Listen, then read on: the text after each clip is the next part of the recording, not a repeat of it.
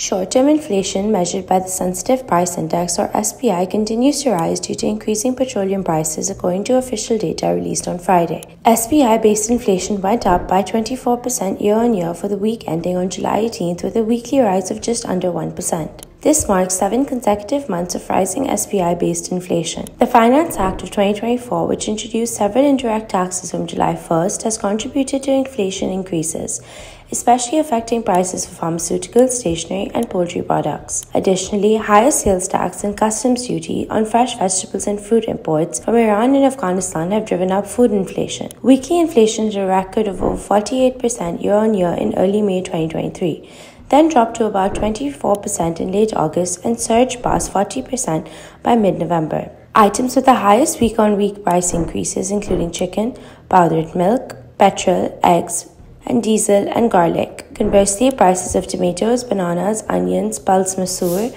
and LPG decreased. On an annual basis, significant price increases were seen in gas charges for the first quarter, onions, tomatoes, powdered milk, pulse gram, garlic, chili powder, pulse moong, men's sandals, shirts, salt, LPG, pulse mash, beef, and electricity charges for the first quarter.